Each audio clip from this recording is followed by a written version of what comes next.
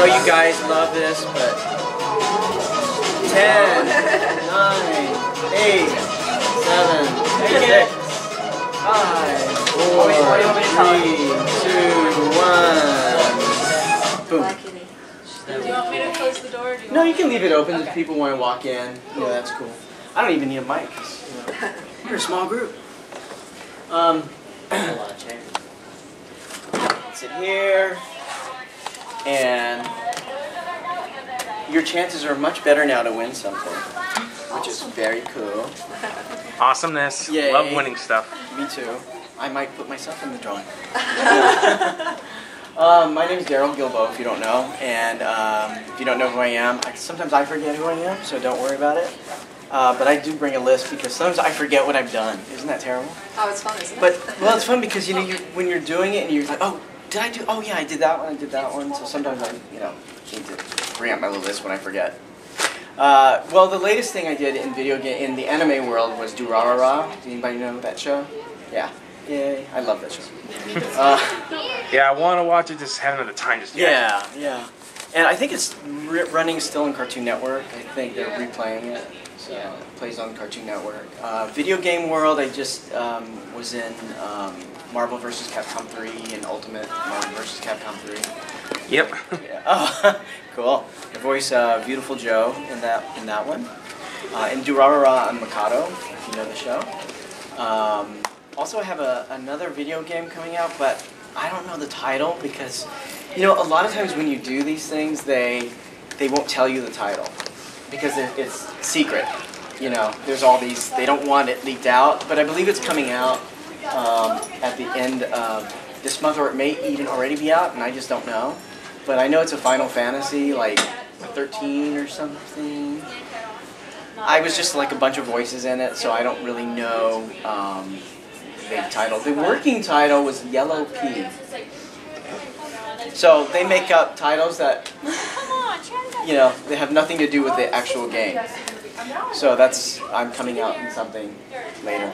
Uh, if you, I'm Darrel Guilbeau. For you guys just walked in, uh, recently did the anime show Durarara. If you're familiar with it. Um, also, uh, Marvel vs. Capcom and Ultimate Marvel vs. Capcom in the video game world. Uh, other stuff that I've done has been Samurai Champloo, uh, Paranoia Agent, uh, smaller roles like on Bleach, Kekkaishi, um, Moribito, Guardian of the Spirit, uh, When They Cry, uh, Higurashi. Anyone know that one? No? Yeah. Over, Overman King Gainer, um, a show called Ice Pure, Deers. Um, see, that's why I forget because there's so many.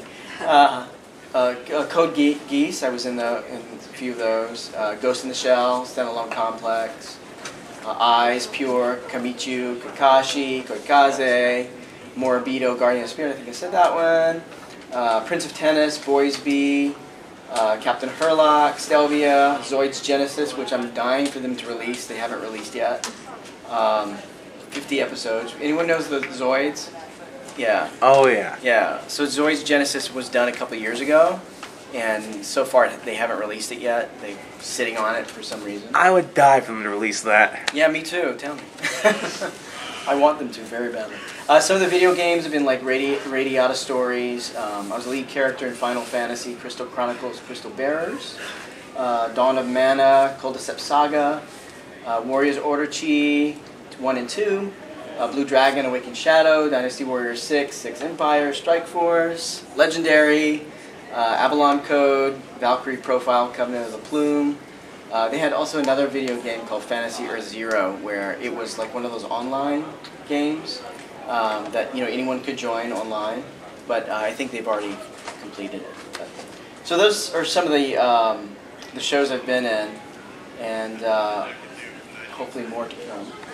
But uh, I'm based in Los Angeles, and I've been doing voiceovers for anime and video games since about 2004, I believe, or 2006. So it's been, you know, a little while, and um, you know, feel so grateful to be a part of it, of course, and have been going to cons for a, a while too, which has been was so eye-opening for me. You know, when I started doing anime, the first con I went to was in Dallas. It was A-Kon, which was, you know, huge, and I was just dumbfounded. You know, I was like, why am I here? And you know, and being on a panel with I was like on a panel with Vic Mignogna and you know a bunch of famous voice over actors. So it was a little overwhelming, you know, and it was great because I got to kind of see what what they do and meet the fans and because you know you're in a studio and you don't know how it's taken or received. So it's great to come and, and see that you guys love anime and, and of course see the cosplay. And sometimes I love when I see my characters dressed up. You know, that's always a lot of fun. So what I'm going to do, um, one thing I like to do is be very interactive with you guys.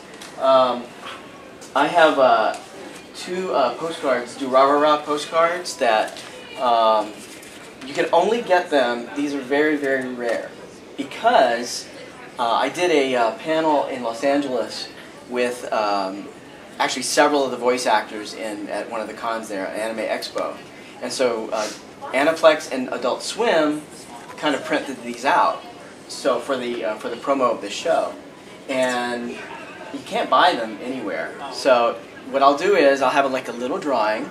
Anyone who asks a question about anything Durarara or anything voice acting, any show you might know I've been in, anything you want to know about that world, then we'll, at the end I'll do a drawing and two people will win these. Yay. Um, if you don't know the show, you've got to see the show. It's an incredible show. Who, who's seen Durarara? Anyone? Awesome. Yeah. Uh, it's a great ensemble where incredible characters, uh, a headless rider. I mean, you know, there's a black Russian sushi guy. There's, uh, you know, the, the three teenage friends. There's uh, Shizuo, this guy with superhuman strength and anger management problems, who lifts vending machines and throws them at people. Uh, there's Izaya, who I don't believe is human, but we can talk about that. Uh, but you know, there's just so many incredible characters. Uh, The mad scientist type people, and a lot of lot of great stuff. Gangs and all that. Uh, so, if you guys are interested in, in winning one of these or winning one for a friend, I would love to uh, definitely give them out to you. What I would like to do is, who wants to be a volunteer? Oh, he wants to volunteer. Awesome. Okay, you can be my secretary. Oh, fabulous. Yay. so anyone who asks, what's your name? My name's Kristen. Kristen, with a C or K. K? Anyone who asks um, a question, just write their name, and then we're, we'll do like a little, fold it up, and we'll do like a little drawing. And of course, you get in because you're helping. Oh, fabulous. So Kristen, you're the first one. Thank you. Thank you. Ready you eat. Fantastic. Yeah. My lovely assistant, Kristen. Yay. Um, so does anyone have any, any questions about either the show or anything about voice acting? Um, And what's your name? my name is Nathaniel. Daniel. Everyone does that. Nathaniel, not Daniel. Oh, Nathan. You know, a lot of people call me Daniel. I'm Darrel. I get it all the time that, oh, you're Daniel. Yeah. So now the shoe's on the other foot, isn't Yes, it is. All right. So, something that I noticed, like I've only watched a little bit of the show, but yeah, the, the, the headless uh, the headless horse uh, girl, uh, she's, right. Celty. Oh, how does how does she talk without a head? Well, because a voice actor does. No.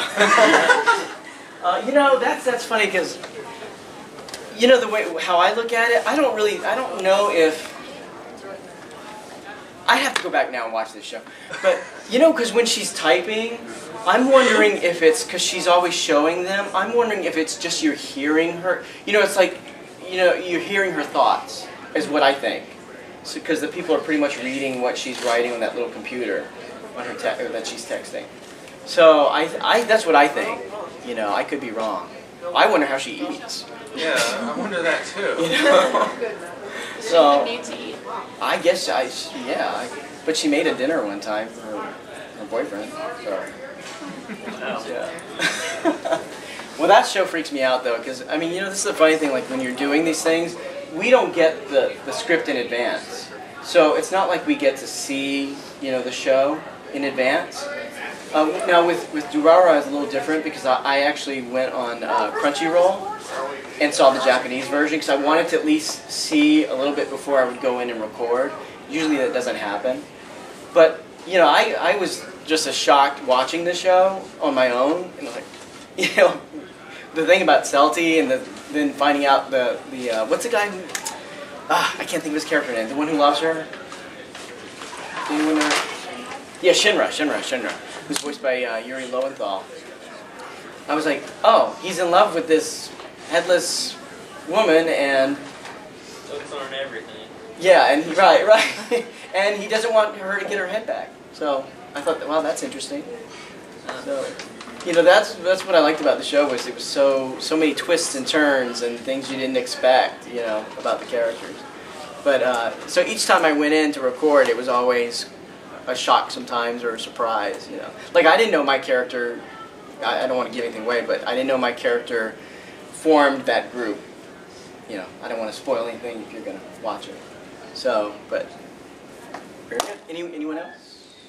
Question? Anything about voice acting? Voice acting? Come on, you gotta win a postcard. Just Nathaniel's gonna win it all, or Daniel will. How did you get started in voice acting? Uh, what's your name? Leah?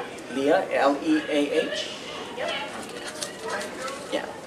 Um, I got started, well, I uh, moved to Los Angeles to be an actor. I went to um, American Academy of Dramatic Arts. I went there for two years and studied, you know, when you go there, you study everything from dialects to movement to voice to, you know, of course, acting, scene work. Uh, so I, I wanted to be an actor, so I did that for two years, graduated, and started mostly doing like low budget films or whatever you can get. You know, I've done commercials and TV. Um, and then I, I had done a, um, it was like an industrial film for Arizona. This is the weird connection to anime. Um, and the woman who played my mother, her husband directs anime in LA. And several years later, she had remembered me, and I got a, I start talking to them, and they were like, "Oh, they're looking for a new voice over at Bang Zoom Entertainment for a character in a show called Overman King Gainer." And the show was by um, a guy named Tomino who did Mobile Suit Gundam, if you know that show. And yeah, and so Overman King Gainer is a little bit more of a humorous, you know, not as serious as Mobile Suit Gundam, but still mecha style. And so I went in and I, I auditioned at Bang Zoom, and I didn't think I was going to get it because I had never done a lot of voiceover or anything. I wanted to do voiceover, but I was like, oh, there's no way they're going to cast me. You know, I'm, I'm a newbie, and so I went in and you know had no experience of, of how you even record anime, which is you know you have a screen and you have to dub it you know to the to the lips and all that stuff. I mean, they were new. I was I was new, so that was still fine. But so I just did it, and I had a lot of fun with it. I wasn't nervous nervous at all because I said I had no chance. So I just have fun. And then um, about a month later, I got a call, and uh, they asked if I would come in and just do some smaller parts on Captain Herlock, and then on a show called Stelvia. I said, "Oh, great! You know, I'd love to." So I didn't think I got Overman King Gainer. And then um, probably three months later, I got a call, and the woman who was the manager at the time, her name was Mommy Okada. So you know, every time Mommy calls, you know, you're on the phone, you're in the su- supermarket, and it's "Hi, Mommy," you know, and people are looking at you. You know, you still call your mom Mommy, you know. Uh, but she called and she goes, "Hi, Darrel, this is Mommy calling," and she goes, "Congratulations, you got the, the lead in Overman King Gainer." And what they did was they sent the voices, I guess, to Japan, and the producers and I guess the creator, you know, wanted to pick the English voice. And they knew I didn't have a lot of experience, so they were, you know, they, and they had the time to work with me, which was great. So I learned so much, you know, in that first, uh, doing that first show. And you know, we do them in segments. So we did like maybe volumes one through four, um, one month, and then we were off several months, and then later we would do the next set. You know, off several months, later the next set. So during that time, I got to do that show, and then I started getting known for you know other shows. They started putting me in other stuff. So I, I feel so lucky, you know, that I was recommended because, you know, if I was never recommended, I, I never would have had that opportunity. I wouldn't have even known how to, you know, get into that, you know, because it's such a small little little group. I mean, it, it, it's like anything in acting in Los Angeles. It's unless your agent sends you or you find out, you know, you can submit yourself in some kind of way. But when if you're recommended, it's such sometimes a, a a great break, you know, because it's a way you wouldn't have been able to get in on your own.